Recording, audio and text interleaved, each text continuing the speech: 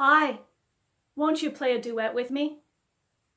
Today we'll try a minuet, Les Papillons from the Concert for Two Flutes in B minor by Monteclair.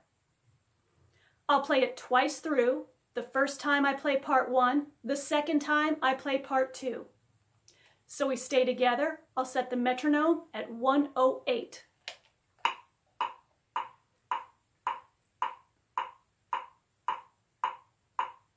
One, two, three, one,